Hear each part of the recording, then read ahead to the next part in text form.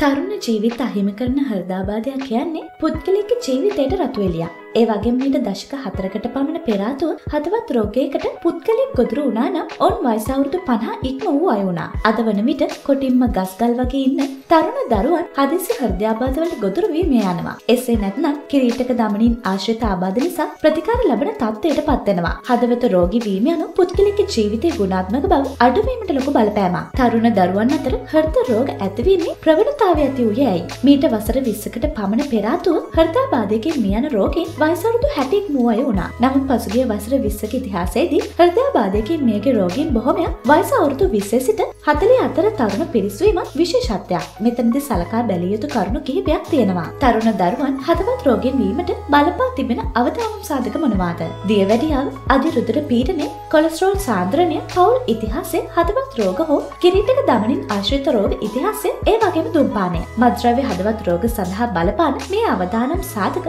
තරුණ පරම්පරාව සමහරට බලපෑමක් ඇති කරන්නේ කොහොමද? විශේෂයෙන් අද ජීවන රටාව නිසා අපේ සංස්කෘතිය ගිලිහකින් අතීතයේ හැම නිවසකම තමන්ගේ පවුල සමාජිකයන් ආහාර සකස් වුණා. මේවා සකස් කරන විට කිසිම රසකාරකයක්, වර්ණකාරකයක් හෝ කල්තබා ගැනීම රසකාරකයන් එකතු කළේ නැහැ. රස කරන්න එකතු කළේ කරපිංචා, උළුහල් වැනි ස්වභාවික දේවල්. නමුත් අද හැම දෙයකටම කෙටි කෑම, ක්ෂණික ආහාර, සකස් කළ ආහාර හඹා යන රටාවක් ඇති වෙලා. ඒ වගේ පිටතින් ආහාර අනුභව කිරීමේ විලාසිතාවකුත් ගොඩනැගිලා. මේ ආහාර සකස් කිරීමේදී එකතු කරන අධික ලුණු, තෙල් පිටි සහ සීනි සිරුරට හයිත් කරයි. තරුණ දරුවන් මේ ආහාර වෙත වැඩිය යොමු නිසා ඔවුන්ට කොලෙස්ටරෝල් සාන්ද්‍රණය දියවැඩියා වගේම අධිරුධිර පීඩනය වැනි රෝග තත්ත්වයන් ඇති වෙනවා. දැන් වයස අවුරුදු 10 15 වැනි ලාබාල වයසේ පටන් මේ අවදානම ඇති වෙනවා. මේ නිසා තරුණ දරුවන්ගේ කිරීටක දමනින් අවිදවීම වැනි තත්ත්වයන් නිසාම හදවත් ආශ්‍රිත සම්පූර්ණතාවයක් සහ හෘදයාබාධ නිසා මරණයට පත්වීමේ අවදානම දවසින් දවස ඉහළ යනවා. ඒත් එක්කම කියන්න ඕන අද බොහෝ අපන ශාලාවල එකම තෙලෙන් කීපවතක්ම බැදීම සිදු වෙනවා. එවිට ඇතිවන ට්‍රාන්ස් මේද අම්ල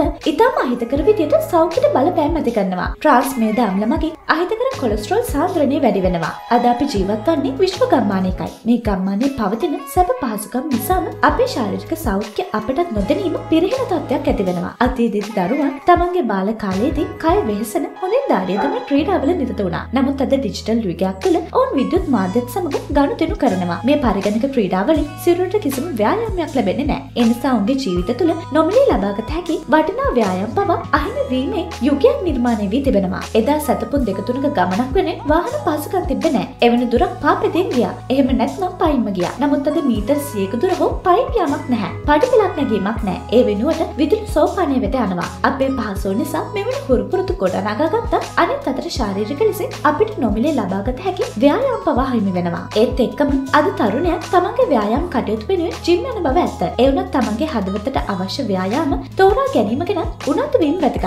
මේ සඳහා ටෙරන්ට් මීල් වැනි ව්‍යායාම මාංශ පේශීවල ශක්තිය වැඩි කර ගැනීමට සුදුසුයි. කාය වර්ධන ව්‍යායාම හෘද සෞඛ්‍ය සඳහා සුදුසු නැහැ. හදවත සුරකීම වෙනුවෙන් සතියකට විනාඩි 150ක් ඇවිදීම මගින් හදවතේ නිරෝගීතාවය ආරක්ෂා කර ගැනීමට පුළුවන්. මේ ලහිය ඇවිදීම හෙවත් අධික පද්දවමින් ඇවිදීම සුදුසුයි. සමහර අය ඩම්බෙල් අරගෙන ඇවිදින විට ශරීරයේ උඩ කොටසට ව්‍යායාම ලැබෙනවා. ශරීරයේ ස්කන්ධ දර්ශකය 23ක උනත් අවතාරම් සාධක නැහැ කියන්න බෑ. එවැනි පුද්ගලයන්ට රුධිරගත සීනි, කොලෙස්ටරෝල් සාන්ද්‍රණය වගේම අද රුධිර පීඩනය තියෙන්න පුළුවන්. ඒ නිසා සිහින් සිරුරක් තිබුණ පමණින්ම හදවත ආශ්‍රිත සංකුලතාවයන්ගේ නිදහස් කියන්න බැහැ. හදවත පිළිබඳ යම් ගැටලුවක් තිබුණොත් ඒ බව දැන ගැනීමට අනතුරු සංඥාවන් ලැබෙනවද? ඔබේ සිරුර වෙහෙස වී යම් කාර්යයක් කරන විට පපුවේ වේදනාවක් දැනෙන්න පුළුවන්. සමහර විට අධික මහන්සිය හතිය හුස්ම ගැනීමේ අපහසුවක් වගේ දැනෙනවා. ඒ වගේම දකුණු හෝ වම් අත දිගේ මේ වේදනාව පැතිරෙනවා. උගුර බෙල්ල ප්‍රදේශයටත් පැතිරෙන්න පුළුවන්. එවැනි අපහසුතාවයක් ඇති වුණොත් නොසලකා ඉන්න එපා. Tamanට අවධානමක් තිබුණත් නැතත්